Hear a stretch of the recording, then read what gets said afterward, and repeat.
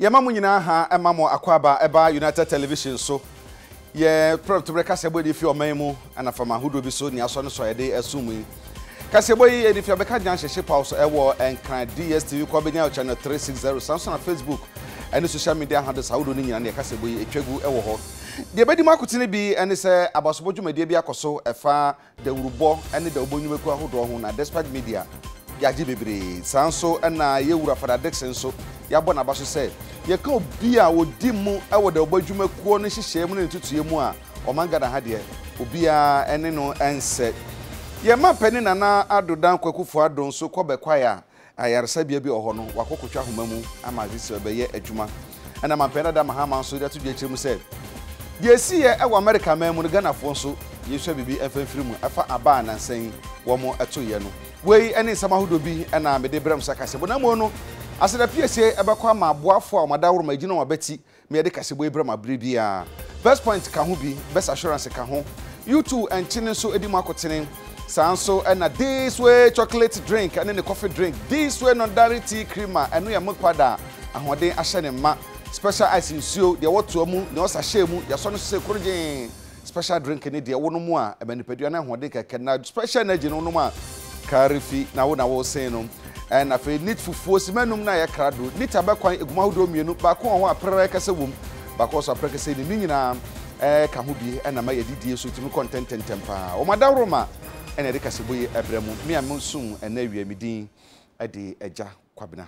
Afei kasɛbɔ ne mu nsɛm nie yɛma panin his excellence nana dodan kwakufo ado akɔ akɔda dwumadie bi adi ɛwɔ asate bɛkwae ne nyinaa ne sɛ ayaresabea bi a ɛwɔ hɔ no yɛhyɛ ase akyɛ yie paa nanso pirepire yɛtumi awie ama akɔda no adi. Sɛ amanfoɔ hɔ no ɛmfa nyɛ adwuma.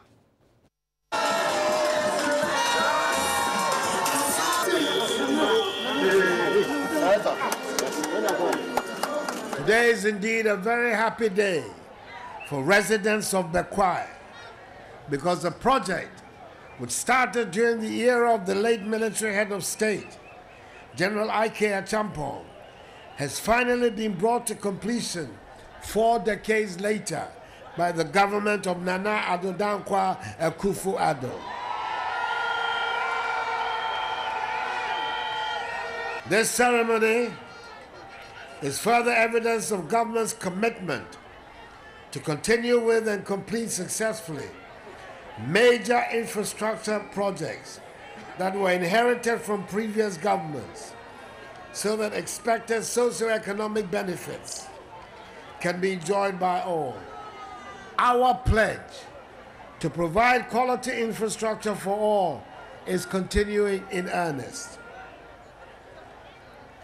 Having stalled in 2013 due to lack of funds, government, through the dynamic, hard-working Minister for Health, the Honorable Kwaku Agyeman-Manu, Member of Parliament for Dormaa Central, successfully negotiated for funding from the United Kingdom Export Finance for the completion of the civil works, procurement of equipment with a three-year warranty period, and the training of required personnel for the operation of the hospital.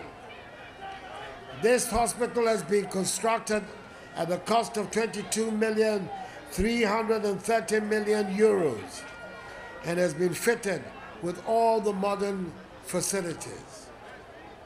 The NANUM government is committed to improving access to essential and quality health services through the provision of the necessary health infrastructure, equipment, and logistics, including the deployment of appropriate technology as part of our drive to attain, attaining universal health coverage. I want to reinforce the call to the administrators to embrace and strengthen the culture of maintenance. This edifice has been put at great cost to our nation and we should be in the position some 10 years down the line to see it still in good condition. It should not fall in the ways in which several institutions like this in Ghana have gone. The leadership of this facility must set the example for its periodic and constant maintenance and will be held accountable for this.